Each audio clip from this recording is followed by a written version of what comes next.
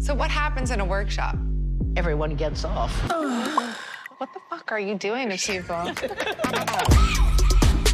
What we try to do with goop is to explore ideas that may seem out there or too scary.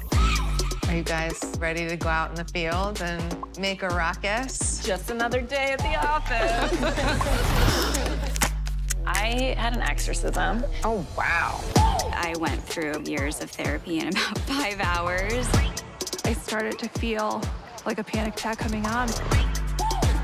She knew something that my husband didn't even know. You want to talk about the vulva? Naked in a room with a bunch of women? I don't know if I have the guts. You've never seen yourself? No. Why not?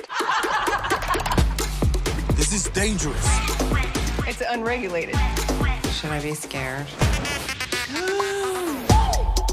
here one time, one life. How can we really milk the shit out of this?